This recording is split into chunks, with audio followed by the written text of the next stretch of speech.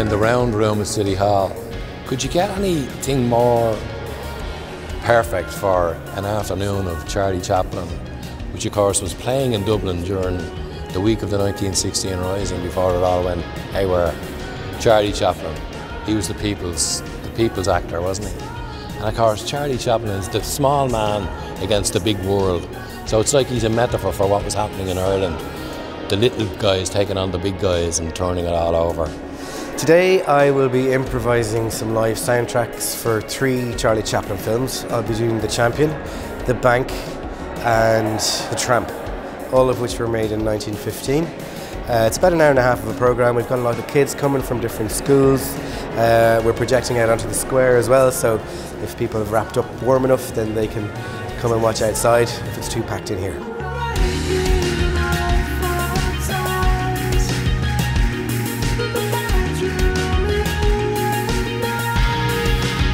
Working with Simon was great. He's very decisive. So even though you might imagine, as you can imagine, there can be it's tricky with communication. It can take longer.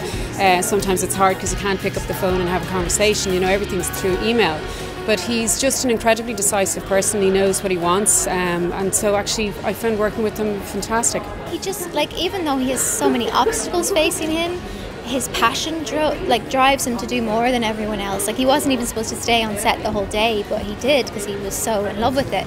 And I think when you see that, it makes you fall more in love with the project.